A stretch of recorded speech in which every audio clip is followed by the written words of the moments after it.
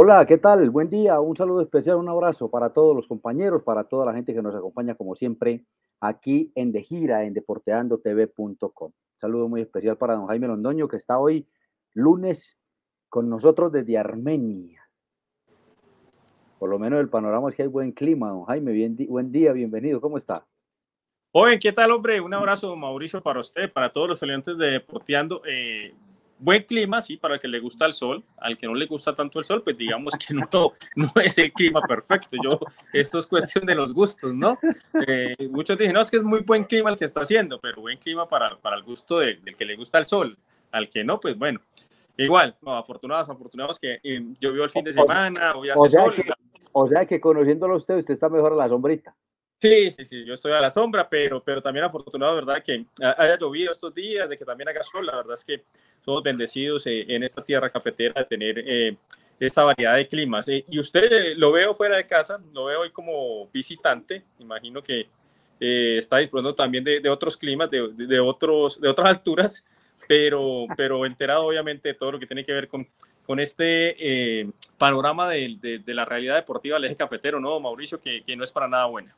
Bueno, sí, nosotros eh, estamos en Bogotá en unas gestiones personales, familiares. Hoy, entre otras cosas, está de cumpleaños eh, María José. Está cumpliendo 15 años hoy María José. Ay, no, puede ser que le tocó a María José los 15 por allá tan lejos, hombre. Le tocaron, Un le to para, le para la, que era la 15 de niña de la paseo. casa. Le tocaron los 15 de paseo, medio, medio paseo de vueltas, pero bueno, eh, eh, un abrazo para ella que nos, que nos mantiene eh, parte de la motivación. Bueno, em, después de la nota social, don Jaime, estoy totalmente de acuerdo con usted. Hemos tenido un fin de semana con un eh, muy mal rendimiento para los equipos del eje cafetero, con una muy mala eh, situación para nuestros equipos. Mm, Perdieron los dos, el Once Caldas y el Deportivo Pereira, mucho peor lo del Once Caldas que lo del Pereira, mucho peor, muchísimo peor, porque yo creo que no jugó ni siquiera mal, sino muy mal. Y lo del Deportivo Pereira creo que es una cosa que se veía venir, ¿no? Que, que podía pasar, que podía suceder. Y eso, mm, yo no sé si está dentro de lo normal, Jaime, no sé si sea dentro, de, si pueda decir uno que está dentro de lo normal, pero por lo menos, digamos que era previsible, ¿no? Que era, A ver, que lo que era- pasa es que uno mira la tabla y los números fríos dicen, hombre, están casi igual, Mauro.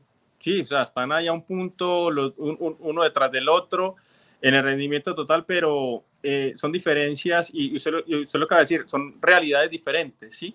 Porque es que lo de Pereira, sí, lo es que lo de Pereira viene en competición de Copa Libertadores, competición de Copa también eh, eh, en Colombia y ahora la Liga. Y viendo los rendimientos y los, y los partidos de este fin de semana, una cosa es como perdió el Pereira y otra cosa como perdió el Once Caldas, como usted lo dice. Lo del Once Caldas, eh, no hay esperanza de nada, es que no hay esperanza de mejorar, mientras que Pereira, inclusive si usted hace un análisis por ahí un poquito profundo, uno dice, hombre, el, el empate hubiera sido hasta justo si es que de justicia se llamara eh, en el partido ante Medellín. Hicieron mérito los de Pereira para, para buscar un mejor resultado. Bueno, pero los, los méritos y, y, lo demás en el fútbol no cuenta. Acá cuenta lo que, lo que es la realidad, pero son realidades diferentes. Usted con lo de Pereira se puede esperanzar, usted con lo de Pereira puede seguir pensando en Copa eh, eh, tras haber logrado esa victoria en casa ante Nacional. Usted dice, se enfocaron más en Copa que en, que en lo que quedaba de Liga. Era muy, muy difícil en Liga lograr mejores resultados. Bueno, en fin, la verdad es que son eh, realidades muy diferentes. Y a mí, Mauricio, me preocupa mucho lo de Once Caldas porque puede que se, se, esté salvando el descenso. Yo creo que ya se salvó, yo creo que matemáticamente ya, ya, ya, se salvó, pero yo no veo la mejoría en nada en el Once Caldas. Nos ilusionó tres o cuatro partidos al principio de este semestre, pero termina de la misma manera que terminó hace un, hace un semestre, Mauro. O sea, eh, las cosas no pintan para nada bien en el equipo de Manizales. Mire, Jaime, eh, yo creo que la situación del Once Caldas, el tema fundamental del Once es que el Once no tiene norte, no tiene mañana. Eh, porque usted dice, bueno, el, el, Deportivo Pereira, sí, está bien, el Pereira puede haber jugado, pues la verdad no jugó un mal partido, para ser sincero, no jugó un mal partido, jugó un partido aceptable, eh, la derrota podría ser previsible por los jugadores que estaban en el campo, por lo que podía suceder, eh, por la por la plantilla que armó el técnico. Yo creo que la mente está puesta toda en la copa y eso es otro atenuante para la derrota. Pero cuando usted eh, busca algo de que agarrarse en el 11 no lo encuentra, porque es que el 11 eh, viene en un decrecimiento total y constante. Eh, nos emocionó biliarse, se quedó, se fundió. Luis Pérez juega un partido bien, tres mal. Montaño tiene un rendimiento regularizado por lo bajo. Ese muchacho Cuesta es muy impredecible. Un rato juega bien, otro rato no tanto. Y, pero más allá de eso, eh, Jaime, es que, es que uno no encuentra dónde está el mañana. Porque e, es, es una cosa eh, similar a lo, que, a lo que pasa con el Quindío. ¿Dónde está el mañana del Quindío? Mañana el Quindío uno no sabe para dónde van. Entonces es, un, es una cantidad de incógnitas. A mí me suena el teléfono todos los días a contarme una historia distinta. el presidente se va a ir, eh, Jaime Pineda eh, se va a empoderar del equipo, ya no, se fue el gerente deportivo, que yo no sé si lo hacía bien o lo hacía mal, porque es que el gerente deportivo, sé, Caldas, existe para que llene la planilla y para que sea el delegado del equipo. No define absolutamente nada. Entonces, eh, van a transformar las divisiones menores. Felipe Gutiérrez está encargado. lo van a dejar, no lo van a dejar el equipo juega muy mal, pierde, necesita, ¿sabe qué necesita hoy el, el, el, Once Caldas? Que América le gane al Huila. Y ahí se salvó. ni siquiera es porque lo está haciendo bien. Entonces, la verdad, yo sí veo que el tema del Once es muy complicado. no, es que el análisis, yo recuerdo que eh, cuando inició el semestre hablábamos que si el Once Caldas salvaba la categoría era porque se iba a clasificar dentro de los ocho esa era la tarea, decíamos, para que el Once Caldas eh, se salve el descenso es que se va a clasificar entre los ocho. ¿Qué es lo que pasa? Que los otros hicieron la tarea también muy mal, Mauro. O sea, eh, Unión Magdalena hizo la tarea muy mal, Huila hizo la tarea muy mal, Jaguares tampoco colaboró. Jaguares hasta ahora, pues con una victoria por ahí empezó a empezó a, a, repuntar y muchos, muchos, muchos partidos sin ganar. Eh, la verdad, todo el mundo lo hizo demasiado mal para salvar la categoría, demasiado mal. No hubo un equipo que hiciera la tarea bien hecha y se salvara por el propio mérito de, decir, es que fui yo el que salvé la categoría. No, me la salvaron el trabajo mal hecho de los demás. ¿Sabe quiénes se salvaron? ¿Sabe quiénes lo hicieron bien y se salvaron? Se salvó Chico, que hizo un excelente primer semestre, un excelente primer semestre. Y lo hizo muy bien Deportivo Cali. Hoy yo no entiendo cómo en Cali hay voces dentro de las directivas del Deportivo Cali pidiendo la cabeza de Jaime de la Pava. Si Jaime no, hasta los hinchas. Por ahí vi un video de unos hinchas diciéndole que fuera, que no había ganado nada. Que... Jaime de la Pava cogió un retazo, un, un, un cadáver insepulto, diría don Robert Franco, y, y, y lo recuperó y hoy el Deportivo Cali está lejísimo de la zona del descenso. Ah, que el año entrante tienen un problema, sí, pero eso no tiene nada que ver con lo de este semestre. Jaime eh, eh, recuperó el equipo. Y entonces uno no entiende cómo, cómo, no, cómo no, no, no, no, hay una compensación en ese tema. Pero los demás lo hicieron terrible. Eh, Unión lo hizo muy mal, Huila lo hizo muy mal, el Once lo hizo muy mal, Jaguares sí que lo ha hecho mal. Entonces, el tema es es complejo. Vamos a hacer una pausa, don Jaime, vamos a hacer una pausa y venimos porque para que hablemos un poquito de, del, juego, del juego. Ya los equipos perdieron, ya hay que hablar un poquito del juego y de algunos jugadores que fueron apareciendo en otras cosas. Usted y yo formamos casi, es un poquito osado decir que formamos parte del engranaje, pero estamos siempre ahí y, tal vez nos creemos con, algún, con alguna posibilidad de, de hablar del tema. Pero le digo una cosa, eso de ayer del primer tiempo de Deportivo Independiente Medellín y Deportivo Pereira fue terrible. Ya el segundo tiempo que el Pereira le puso un uniforme azulito cambió el tema, pero el primer tiempo. no, no, no, no. Uy, no, que embaldada se pegaron. La eh, verdad, la verdad es que, bueno, yo no sé, todo, todo, todo, todo, todo al traste con el, con el, con el, con el cuento y demás de la desorganización, ¿no? Porque es que además no era ni, ni, ni, ni siquiera aguantable, aguantable desde la, desde la visión del televidente, digamos. ¿sí? Er, er, era, era inaguantable ver eso, no sabía lo que estaba viendo, la verdad. Y yo imagino que eso en la cancha también da el traste con lo que, está, con lo que estaba pasando. Claro, a mí me escribió un amigo ayer que él creía que, que en el gol del Medellín el jugador del Pereira no, no, supo a quién le entregó la pelota y puede haber sido, puede haber pasado, puede haber, puede haber sido viable. Eh, vamos a hacer la pausa y venimos.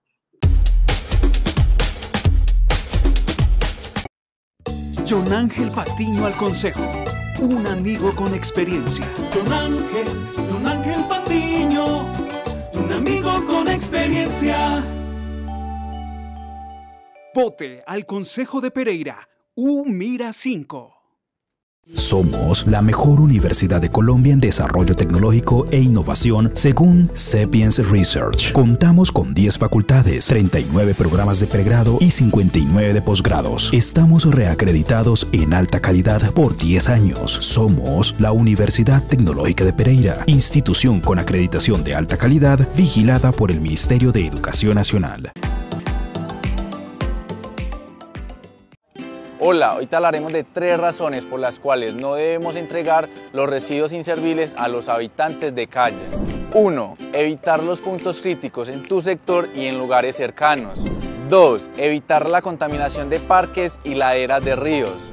3. Evitar una multa según el código de policía.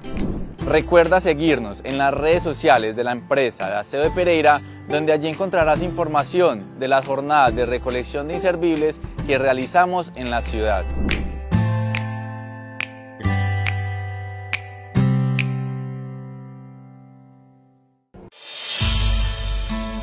Muy lindos, pues porque nos contaron que eran reciclables, eh, son cómodos. La educación de calidad es uno de los objetivos de desarrollo sostenible de la ONU a los que le apunta la industria licorera de Caldas. Por esta razón, en 2022 desarrolló el programa Mi Escritorio ILC, que entregó sillas y escritorios nuevos a 544 niños de Caldas y el país, elaborados con envases reciclados de sus productos. En Caldas no son siete las maravillas. En Caldas esas maravillas se cuentan por decenas y apuntan a un turismo que contiene aves, senderos, lagunas, paisaje cultural cafetero, certámenes deportivos de alto rendimiento, eventos académicos y culturales y mucho, pero mucho corazón. El turismo es economía y la economía es vida. Por eso perdernos las maravillas de Caldas es el único riesgo que no podemos correr. ¿Sabes por qué cada día viene más y más gente a Kiskiriski? Porque en Kiskiriski encuentran el sabor colombiano que les gusta más. La atención es muy especial y los precios son los que te dejan con más en el bolsillo. Por eso ven a Kiskiriski, disfruta del pollo, nuestros platos y otras delicias que te encantarán. Primeros en precio, primeros en calidad. Kiskiriski es el sabor que te gusta más.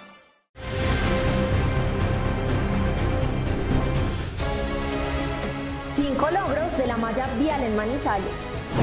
76 mil metros cuadrados de malla vial reparada, equivalente a 28 manzanas del centro de la ciudad. Intervención anual en las cuatro avenidas principales, Santander, Paralela, Kevin Ángel y Alberto Mendoza. 18 años esperaron los manizaleños para la pavimentación de la vía Guriguri. Esta administración construyó 485 metros lineales. A diciembre de 2023, Manizales tendrá 100.000 metros cuadrados de vías reparadas en las 12 comunas. 120 intervenciones en zona rural y la construcción en Morro Gordo de la placa huella más grande, 904 metros de obra.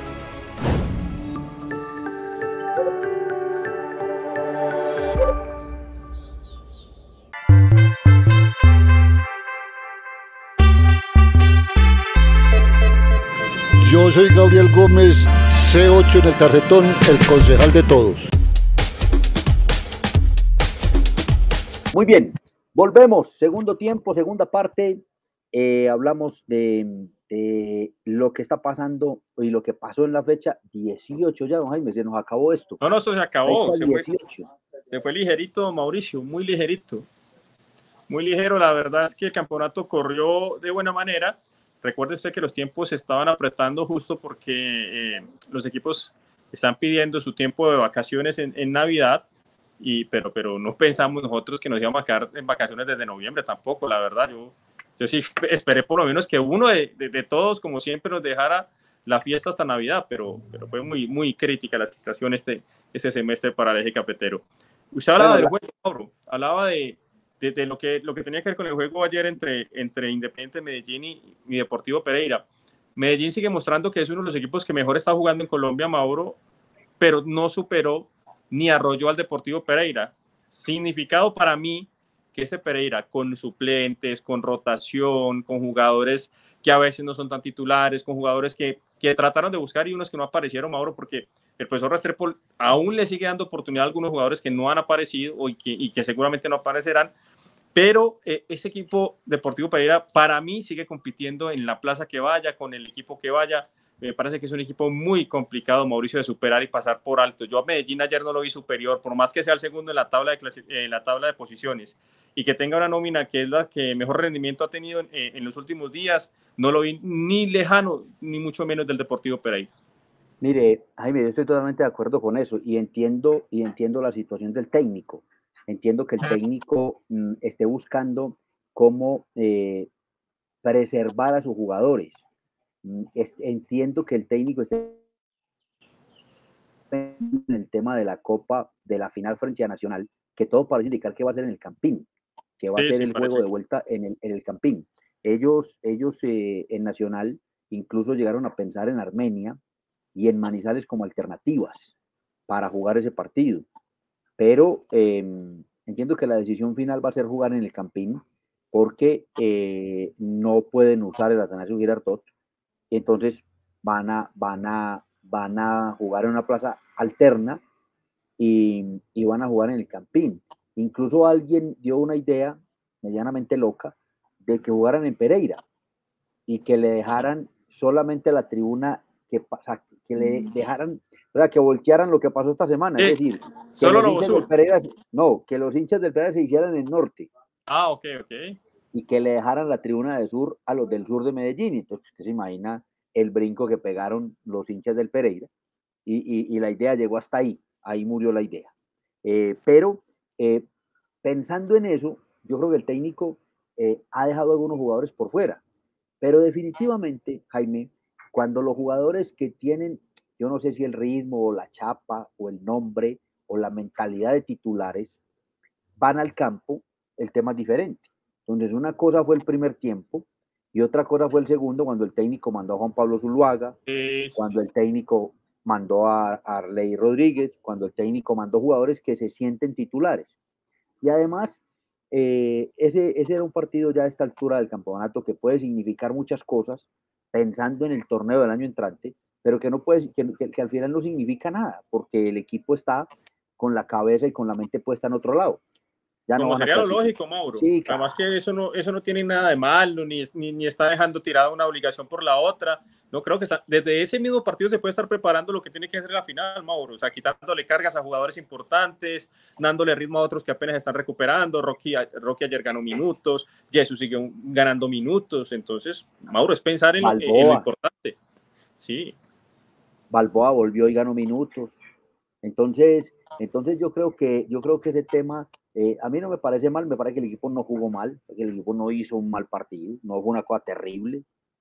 Perdieron supuestamente ante el gran equipo del campeonato que tiene un pendiente eh, el profesor eh, Alfredo Arias y es jugar bien una final. Hasta ahora en Colombia ha hecho unos buenos torneos, ha hecho una buena fase de todos contra todos, lo hizo muy bien porque el Cali de él jugaba muy bien, ese Cali de él jugaba muy bien y, y llegó a la fase definitiva y no lo logró y Santa Fe que no jugaba tan bien como el Cali de él, tampoco pudo cuando llegó a las fases definitivas del campeonato. Entonces es un pendiente del técnico Alfredo Arias. Y ojalá con este Medellín que juega bien lo pueda superar, porque Medellín la verdad está jugando bien. Pero yo creo que el Pereira hay poco que reprocharle el partido de ayer. No, no, no. Hizo un partido normal y decente ahora. Decente, sí, sí. Un juego presentable, o sea, vuelvo y le digo, o sea, superior no fue Medellín. Eh, la diferencia de la tabla es mucha. Estamos hablando del segundo, clasificado hace rato, de buscando los primeros puestos, uno que está pensando más en Copa que otro, pero yo, yo lo digo, Mauro, yo, yo veo la buena intención de, de, de muchas cosas de las que pasaron ayer, tanto en el once inicial del Pereira como en los cambios que, que fueron eh, entrando durante el partido. Ahora, Mauro, hay jugadores que no aparecieron en Pereira, que no van a aparecer, y hay jugadores que, como le digo, le dieron oportunidad, le intentaron eh, con responsabilidad, sin responsabilidad, partidos importantes, partidos poco importantes, y creo que quedaron en deuda con, con, el técnico, más que, más que otra cosa que les, les, buscó tenerles en cuenta y no respondieron como debieron. Hubo muchos jugadores que recibieron muchas opciones y no las aprovecharon. Y, y que definitivamente no mostraron rendimiento ni charreteras para quedarse. Y eso será tema para otro programa, porque habrá que empezar a pensar qué es lo que va a pasar con el equipo del año entrante. Hay una cantidad de rumores por ahí, que este sí, que este no, que, que, que, que, van a desbaratar el equipo, que no lo van a desbaratar, eh, pero hay unos jugadores que definitivamente no, no están. Y va a depender mucho de lo que pase en este final con lo de la Copa Betplay, también qué tipo de equipo va a armar el Pereira para el año entrante, porque, porque una cosa es tener la responsabilidad del repechaje de la Copa Libertadores y otra cosa va a ser no tenerlo. Son dos cosas diferentes. No, todo cambia el panorama, cambia el panorama totalmente. O sea, una competencia internacional, eh, como la Copa, así sea un repechaje, a tener simplemente que afrontar la liga para mirar, volver a buscar un cupo, eh, cambia todo. ¿Usted qué sabe de, de, de, lo del profesor Restrepo? ¿Se queda, se va? Porque es que es eso, el rumor más grande es ese, que lo van a renovar a dos años, que tiene una cláusula, que no tiene cláusula, que ya tiene ofertas de otros lados. Eh, yo creo que por ahí se puede empezar a, a desengranar un poco lo que va a ser, o a desenmascarar mejor lo que podrá hacer el Pereira el próximo año. Eh, mire, el técnico del Deportivo Pereira lo que yo sé es que tiene una propuesta a los directivos del Pereira para quedarse con el equipo por dos años más. Que eso no lo han cerrado ni lo han finiquitado, pero están trabajando juntos en el equipo del 2024. Lo que quiere decir que hay voluntad del técnico en quedarse. Y, y el rumor más grande es que este interinato de John Bodmer en Atlético Nacional es para abrir el espacio para que llegue Alejandro Restrepo. Y esto que le voy a decir no me lo dijo a mí nadie, ni el Deportivo Pereira, ni el, ni el entorno de Alejandro Restrepo, sino de gente cercana a Atlético Nacional. Y me dicen que en Nacional no han pensado en Restrepo, que la verdad es que no han pensado en él. Que, que lo que están apostando hoy los dirigentes de Atlético Nacional es a Bodmer y que podría venir, que ellos no soltaron de una vez que Volver va a ser el técnico como para bajarle un poquito la temperatura. Entonces, por eso dijeron que iba a estar encargado hasta diciembre, pero que la idea es armar un proyecto alrededor de Bodmer y que por eso lo trajeron y que por eso apuraron la salida de Amaral. Entonces, no sé, la verdad no sé. La verdad ese es el panorama que yo tengo en cuanto a Restrepo y es que la gente del Vera quiere que se quede, que él ha tenido una buena receptividad alrededor de armar un proyecto para el año entrante. Yo no creo que, ni los directivos ni el técnico sean tampoco serios de armar un proyecto para que el técnico se vaya. Sí, no, Mauro, además de lo que uno averigua, eh, Pereira ya está pensando en la pretemporada, inclusive. Y la pretemporada es una pretemporada muy diferente a las que nos tienen acostumbrados los, equipos en, eh, en, Pereira o inclusive en el eje cafetero, porque están pensando en hacerla en gran escala. Hacer una pretemporada larga, una pretemporada inclusive por fuera en algunas, en algunas ocasiones. Entonces uno dice, bueno, si ya están pensando en todo eso, si ya están maquinando qué podrá hacer entonces el inicio del equipo, yo imagino que es que el profesor Restrepo en su cabeza tiene que por lo menos otro año más estará con el Deportivo Pereira, a no ser que llegue una oferta tal vez del extranjero que sea de esas imposibles de decir que no. Ahora, yo vuelvo y digo lo mismo que he dicho muchas veces. Eh, en Colombia es muy difícil que un equipo equipare en salario, en propuesta salarial, lo que el Pereira le paga a Restrepo. Es muy difícil. Muy no, creo que está, y creo que está cómodo porque yo siento que al estilo de Alejandro Restrepo, que es estilo, ese estilo diferente de manejar los equipos como tal vez lo hacen en Europa, que el mister es el que, el que delega y hace todo. O sea, ya cualquier decisión pasa por cabeza del mister, no como algunos en Colombia que son los directivos los que escogen y, le entregan para que se acomode. Digamos que acá en Pereira han, han, implementado muy bien ese nuevo estilo, el profesor Restrepo, y eso seguramente lo hace sentir cómodo. Tampoco lo vería mal, Mauro, si llega una propuesta de afuera. Ah, no, es otra cosa. Hombre, tengo que irme, no tengo nada más que hacer, es una propuesta diferente, es un equipo grande, es un equipo, yo qué sé, o sea, creo que, que, que, Restrepo ya cumplió con el Pereira, lo que quiero decirle al hincha del Deportivo Pereira, que si llega a pasar eso es más que entendible, que, que una nueva oportunidad se le presenta al profesor Restrepo y él se vaya. Y yo creo que todo el mundo entiende eso, yo creo que todo el mundo entiende eso el técnico, los directivos, los hinchas, la prensa, yo creo que todo el mundo entiende eso, entiende que, que Restrepo algún día se va a tener que ir y que, y que, y, que, él ya tiene un espacio ganado ahí y que eso no lo va a quitar nadie. En la historia del Deportivo Pereira, el espacio de Alejandro Restrepo nadie se lo va a quitar. Y, yo creo que él también entiende eso, ¿no? Y, creo que tampoco va a aceptar una propuesta cualquiera entendiendo no fallarle a la gente en ese espacio que se ganó. Hagamos la pausa y venimos porque hay que hablar del tema del Once Caldas, que está complejo, está complicado y que además es otro en el que el futuro todavía no provee una luz y hay muchas cosas alrededor del tema. Una pausa y venimos.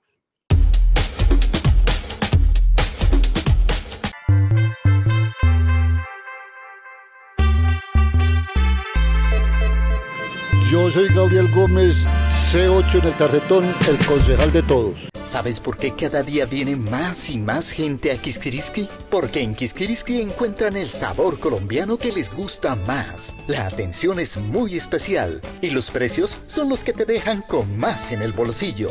Por eso ven a Kiskiriski, disfruta del pollo, nuestros platos y otras delicias que te encantarán. Primeros en precio, primeros en calidad. Kiss que es el sabor que te gusta más. Supremamente felices, eh, dichosos, bendecidos.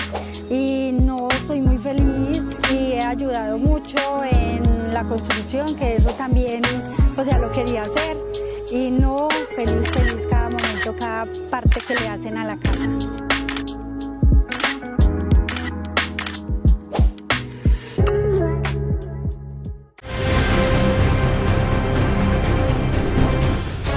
Hola, gracias. Manizales está en obra. Avanzamos en una movilidad sostenible con la línea 3 del cable aéreo, un transporte limpio, seguro y eficiente que promete reducir los tiempos de conexión. Nos atrevimos a empezar lo que ninguna alcaldía había hecho. Adelantamos la construcción de la PETAR, el proyecto ambiental más grande de la región. Avanzamos en la remodelación de la estructura Ambareque más grande del país para convertirla en un gran centro cultural. Transformamos el Coliseo Mayor y el Coliseo Menor para competencias de alto rendimiento. Ambos escenarios no se intervenían hace más de 30 años. Remodelamos el Parque El Arenillo, uno de los más grandes de la ciudad. Serán 12.000 metros cuadrados para el disfrute de todos los manizaleños. Manizales avanza. ¡Vamos!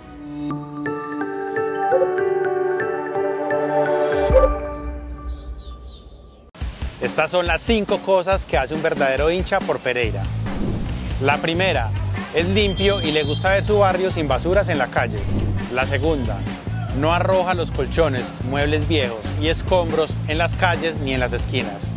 La tercera, separa sus residuos en casa y trabajo para reciclar. La cuarta, no permiten que nadie de su entorno arroje basuras en la calle porque es consciente del trabajo que ellos hacen. La quinta, se siente orgulloso de nuestra ciudad y quiere que todos la vean linda. Y la ñapa no critica, por el contrario actúa por el bien de todos y es un ciudadano consciente. Yo me pongo la camiseta por Pereira porque amo mi ciudad y si tú también la amas, comenta este video con la palabra hincha.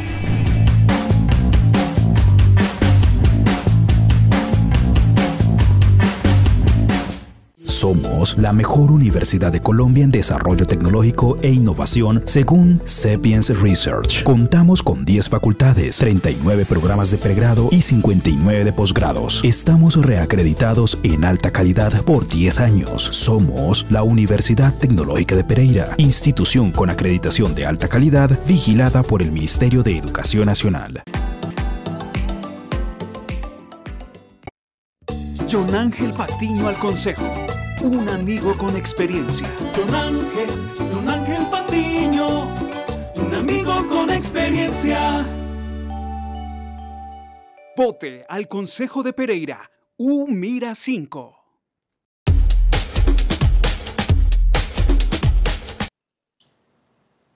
Bueno, don Jaime, último tramo. Último tramo. eh, el 11 todavía está en competencia, pero hay una cantidad de cosas alrededor del equipo y sobre todo de quienes lo manejan en la parte técnica. Pedro Sarmiento volvió a ratificar que no se va a ir, que va a terminar el campeonato, que va a terminar su contrato. Y, yo creo que lo de Pedro Sarmiento, aunque para mí, y usted recuerda que aquí en este programa lo dije varias veces, que hay una muerte anunciada, porque con todo el respeto que merece el profe Pedro, eh, eh, desde tiempos pretéritos, mm, las cosas no le caminan bien a donde va. Y siempre dijimos, el último antecedente fue que descendió al Unión, que dejó al Unión Magdalena en el descenso. Él no estuvo sentado en el banco, pero él lo dejó en el descenso. Y, y, y, un interinato de unos poquitos partidos con Atlético Nacional, porque él formaba parte del cuerpo técnico nacional. Es más, recuerde que él llegó al final. sí, claro. Es más, el arriero se va y Pedro es el que queda encargado del equipo. Que, que, es más, que no se quedó bien visto porque Pedro llegó por el arriero. claro, pues, y llegó al final. Llegó al final del, del, del, del, de cuando el título del arriero, él no estuvo desde el comienzo, él llegó al final. Y, y, dirigió creo que tres o cuatro partidos en Nacional y pues digamos que no le fue mal, pero, pero, pero tampoco fue su equipo. Y, y, y no era cuestión de, del otro mundo pensar en que Pedro Sarmiento no era el hombre para eso. Pero eh, también dijimos a lo largo del campeonato que no era ninguna solución sacar a Sarmiento y traer a otro. Y hoy creo, Hoy creo y ratifico, Jaime, que sacar a Sarmiento será como sacar a Dorti. Algo de sí, sí, sí, sí, sabe que no, está, no estamos lejos. A ver, estos programas están hechos para que cada uno ponga su punto de vista y últimamente estamos, eh, estamos como concordando mucho. Pero es muy evidente todo lo sí, que sí, estos se pusieron de acuerdo, pero es que hay situaciones que son demasiado lógicas y hay situaciones que son indefendibles desde cualquier punto de vista. Y por ejemplo, este Mauricio Caldas Mauro era un tema que, que, nosotros tocamos mucho, que sí, como usted dice, nosotros no, hacemos parte del engranaje, querramos o no, estamos demasiado metidos y, y inmiscuidos en todo lo que pasa con, con, los equipos del eje cafetero, afortunadamente para nosotros, ¿no? Estar bien enterados, estar cerca, saber qué es lo que pasa en el entorno de... Pero sabíamos que el rendimiento del Once Caldas era bueno en un principio, pero que después las formas no cambiaron, que era lo que siempre se había discutido, si las formas iban a cambiar y con ello pues los resultados que iban a llegar no cambiaron. Consecuencia, lo que pasó con Once Caldas. Yo insisto, Once Caldas no salvó el año, Mauro, no salvó el descenso. Lo salvaron los otros equipos que hicieron la tarea demasiado mal, más mal que el Once Caldas. Once Caldas tenía que haberse clasificado entre los ocho primeros para haber dicho, hey, yo salvé el semestre, porque tal vez el profesor Pedro Sarmiento puede decir ahorita, vea, no los dejé, no los dejé descender. Acá la primera, la primera obligación. La era, no descender. Sí, era no descender. Esa era la meta. Pero con el respeto del profesor Sarmiento, el rendimiento me parece que no es así. Me parece que es que los demás hicieron la campaña demasiado mala, Mauro. Eh, con, una campaña, con una campaña un poquito buena o regular de Huila o de Magdalena, Once Caldas en ese momento estuviera, mejor dicho, no, es que depende de los demás, depende más de los demás que de Once Caldas. Mire, es tan cierto eso, es tan cierto eso que hoy, hoy el Once Caldas no está salvado. sí, sí, es cierto. Porque, porque a hoy Huila, que, eso, que eso es, muy, es muy poco factible que pase, pero las matemáticas dicen que, si, Hoy Huila, que si hoy Huila gana los partidos que le faltan y el Once Caldas no gana por lo menos uno, en el, en el, eh, en, el, en, el, en, el, supuesto de que Huila gane los tres partidos, el Once Caldas tendría que ganar uno de los dos que le faltan. Y uno con la manera de ver jugar al Once ve muy poco factible que el Once le vaya a ganar a América o a Santa Fe, que son los dos que le faltan. No, no, ese partido, ese, partido del, jueves, Mauro, es un partido bastante complicado para el hincha, para, para el entorno, para, para todo lo que era Once Caldas. O sea, no, no es ni motivante, es totalmente eh, una presión absoluta la que, la que vive el Once Caldas. Me acordé del patrullero, que, en una de sus, de sus apariciones, José Arley Arango, el patrullero, nuestro colega y compañero y amigo muy querido de Manizales, que, que sale y dice, tengan miedo, tengan mucho miedo. Ese partido, ese partido de miedo. No, no, ese, partido, ese, partido de Halloween, ese partido de Halloween, ese partido, ese partido, como está jugando América y como está jugando el 11 es de miedo para la gente del 11. Sí, total, total, total, sin duda. Entonces, mire, el panorama es el siguiente, don Jaime. El panorama es mm, que hay una discusión entre los accionistas del 11 respecto del manejo del equipo de la manera como están manejando el equipo. Que esa discusión de los accionistas del 11 eh, habla de que tienen que haber unos cambios en el equipo y que el primer cambio que ya se dio fue la salida de Fernando Dorti. Que no soluciona nada para que no, que no soluciona absolutamente nada. Y que, y que en ese, y que en ese, en ese vaivén de cosas están buscando a alguien que sea alrededor de lo que piensa o que pueda reunir las ideas de los dos, porque inmediatamente salta a la palestra el nombre de Felipe Paniagua. que es del agrado del señor Jaime Pineda, pero que no es del agrado de Tulio Mario Castrillón. Entonces, eh, se descarta a, a, Paniagua y hay que buscar quién. Incluso hay algunos rumores que dicen que están buscando quién asuma la presidencia del equipo y que Tulio Castrillón estaría dispuesto a irse. Eh, pero ahí hay un tema ya, aparte de ese, que es el tema deportivo, y es el tema de Hernán Herrera. Porque Hernán Herrera firmó un contrato con unos temas especiales, porque Hernán Herrera, como hemos dicho mil veces, tiene todo el derecho a quererse pensionar y él se quiere pensionar. Entonces, él está en un periodo de, que se llama el periodo protegido por la pensión, en la que a él no lo pueden sacar, no le pueden, no, le pueden cancelar el contrato. Eh, y después hay una cantidad de cosas alrededor de jugadores, de cómo armar el equipo, de las presiones externas, en fin, hay una cantidad de cosas alrededor del 11 que yo lo veo. ¿Quiere que le diga una cosa, Jaime? Yo veo el tema del 11 más enredado incluso que el del Quindío, porque en el Quindío, si lo hacen mal, por lo menos la determinación la toma uno. uno sí, claro. Claro, claro, no hay decisiones de uno y listo. Y, gusta al que le guste, no le guste, se toma una determinación y, y, todo el mundo tiene que ir por ahí. Y si acabó el problema. En el 11 no. En el 11 la información que yo tengo es que los dos socios principales, que son Jaime Pineda y Tulio Castrillón, están en este momento andando en veredas distintas y entonces eso complica aún más la situación. Mucho más el tema. Yo no le veo panorama cercano al 11 para salvarse, no. Y, y otro tema eh, que no es para, para menospreciar ni mucho menos, es que hay que responderle a esa hinchada. Yo no digo que el Alquindío no, no, a todas las hinchadas hay que responderle, pero es que si hay una hinchada fiel, una hinchada que ha, que ha bancado, dirían los argentinos, en los momentos duros a su equipo, es la hinchada del Once Caldas, esa hinchada de más de 11 mil abonados cada semestre, 12 mil, 15 mil abonados, cuando las cosas no van nada bien, pues Mauro, hay que responderle de verdad a esa gente que, que aporta, porque ese, sí es el, ese es el verdadero aporte del hincha hacia el equipo. Puede que los patrocinadores pongan su plata, que la televisión ponga su plata, sí, pero hay 11 mil personas o 12 mil personas que pusieron su plata para el equipo, Mauro, para el funcionamiento del equipo. Y, hay que responderle a todos, sí, son 50 mil o, los que quieran, pero sobre todo a esos 11 mil que nunca han abandonado ese equipo en Caldas. Es que nosotros nos ha tocado las peores campañas de Once Caldas en los últimos años y siempre hemos visto el estadio con ambiente de fútbol cada que juega el Once Caldas. Entonces, también hay que responderle a esa gente. También y esa gente presiona, y esa gente apura. Sí, claro. Y entonces el tema ahí se complica un poquito más. Don Jaime, le agradezco. Nos vemos mañana, si Dios quiere. Una feliz, eh, un feliz resto de día. Y esperemos que el miércoles en Manizales el tema no sea muy complejo. Esperamos que también que don Rosbel mañana, después de su lunes del zapatero, nos acompañe. Y eh, eh, qué cosas, ¿no? yo no lo entiendo. Es, de las cosas que tampoco van a entender en el fútbol.